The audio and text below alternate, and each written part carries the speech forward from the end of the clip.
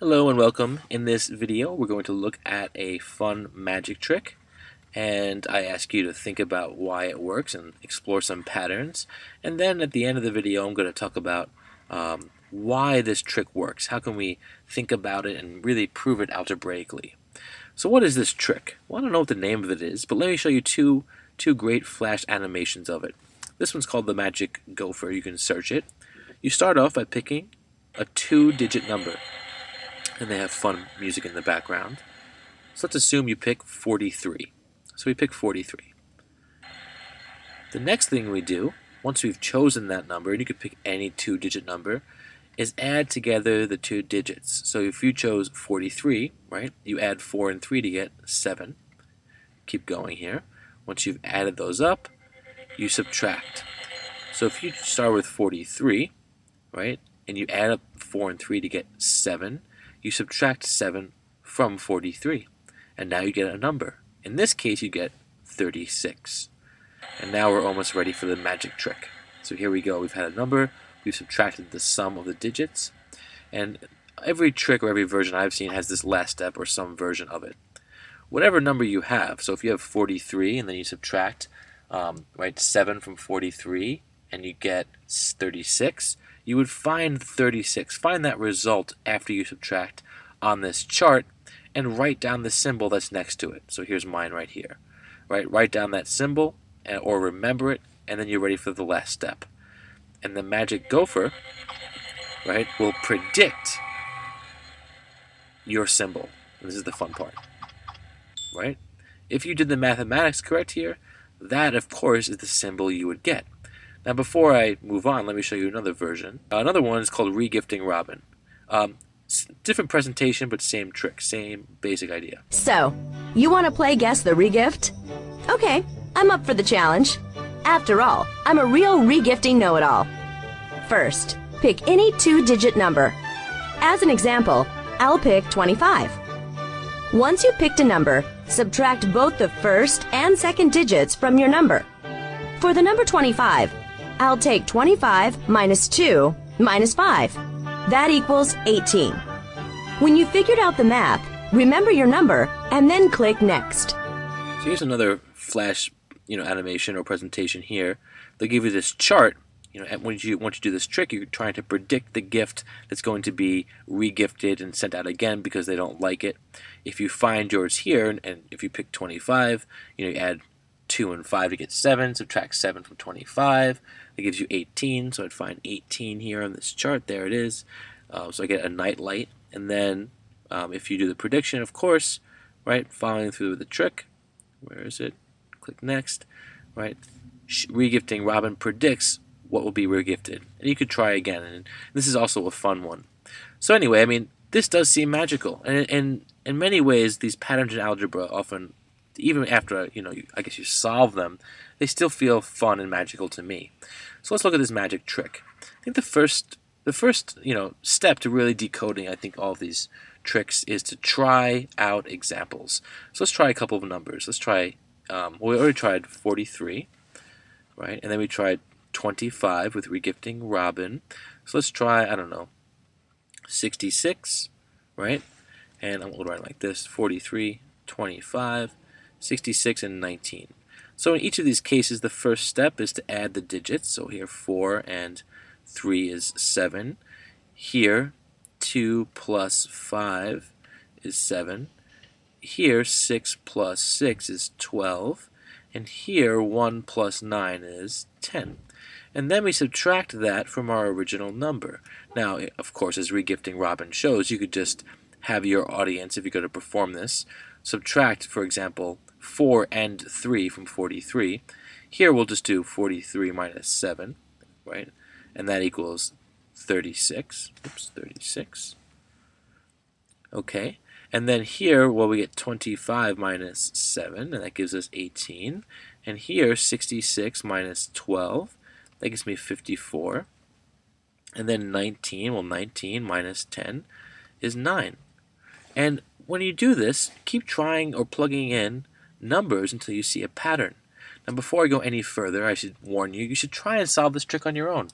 I'm going to share with you how I interpret it, but you might have some fun figuring this out yourself. So here we go.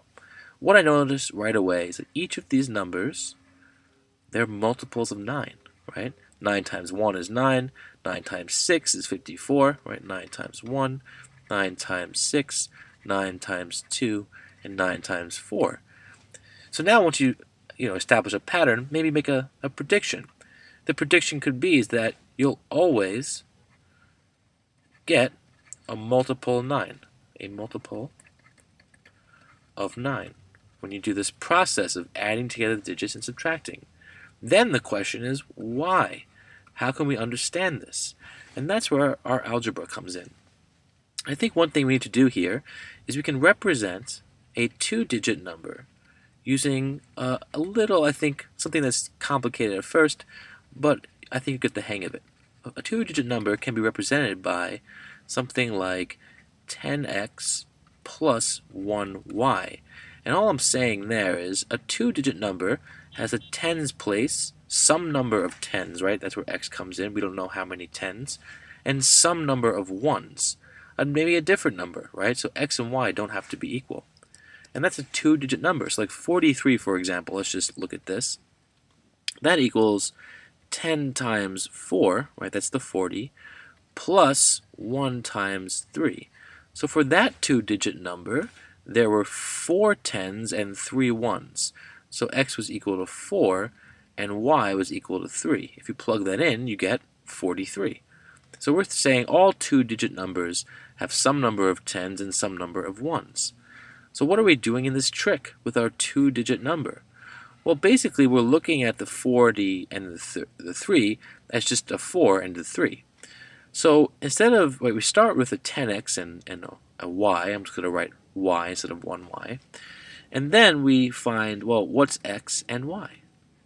We add them up, right? So for 43, for example, I'll write this over here. You have 10 times 4 plus 1 times 3. This is for 43. We'll do that in this column. This is for any number over here. We're going to generalize this. Well, what you're doing is you're saying, okay, yeah, I know that the 43, the 4 is 4 tens, but I'm just going to say that x, right, that number of tens, is now just a 4, or it's just an x. So it's just a 4. And the y value, well, it's still just a y. So we're going to add 4 and 3, or x and y, the number of tens and the number of ones. And then what we do is subtract. So here with 43, we did 43 minus 4 minus 3. Or you can think of that same thing as 43 minus 4 plus 3. These are both equivalent. I'm going to use, I think, well, I'll use both versions to help explain. Because what's going to happen now is we have this equation. 10x plus y minus x plus y. Right? We subtract this sum from this original number. And how do we deal with that? Well, if, if you're subtracting x plus y, that means you're subtracting both x and y. Right? You're subtracting both parts. 10x plus y minus x minus y. You're subtracting both parts. And that goes back to this idea that these two things are equal. Right? If you think about it, 43 minus 4 is 39, minus 3, that's 36. And here, when you add 4 and 3 to get 7, 43 minus 7 is also 36.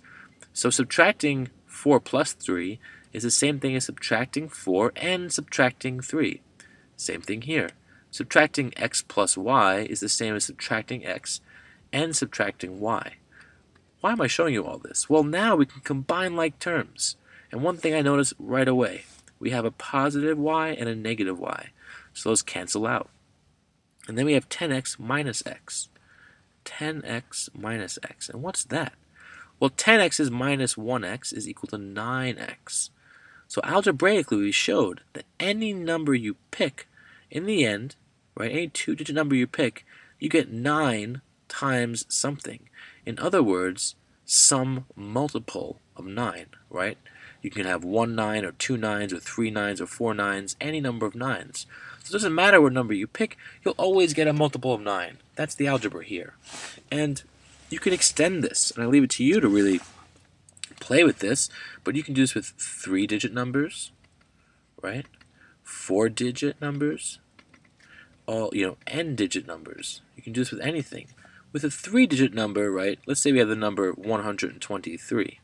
Well, you can think of this as some number of hundreds, right, 100 times x, plus some number of tens, let's say, and then plus some number of ones, let's say r, x, y, and r. So in this case, when you when you add up these digits, like 1, 123, what you would do is you'd add 1 plus 2 plus 3, right, and that's 6. So you get 123 minus 6, and that equals, well, 1, 117, right? And if you look at 117, that's actually a multiple of 9. You might not recognize it, of course, because it's not so friendly. But what is that? Well, 9 times 9 times 14, for example, that is, well, 9 times 10 is 90, and 9 times 4 is 36. Okay, too big, 126. So actually it's 1 9 less, so it's 9 times 13. 9 times 10 is 90. 9 times 3 is 27. That equals 117. So we still get a multiple of 9. How come?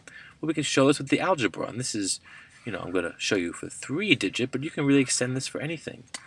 For the 3-digit number, you know, you're taking 100x plus 10y, some 3-digit number, plus 1r, and then you're subtracting an x, subtracting a y, and subtracting an r. What happens is, like before, the r's or the ones place will cancel out. And the 100x minus x is 99x and 10y minus y is 9y. Right, we can even factor this out. Factor out the 9, we get 11x plus y. So this is some number, right? Well, 9 times some number. In other words, we're going to get some amount of 9s, another multiple of 9. You can really extend this trick, and you know, I suggest you play with this with your friends or family and make up your own versions. Really expand on it. Have them pick any digit and somehow find ways to incorporate it. And you know, I, I want you to think about. Maybe I'll cover this in other videos. How could you really show that this will work for any any amount of digits without actually writing all of the place values out? So, thanks. I hope you enjoyed.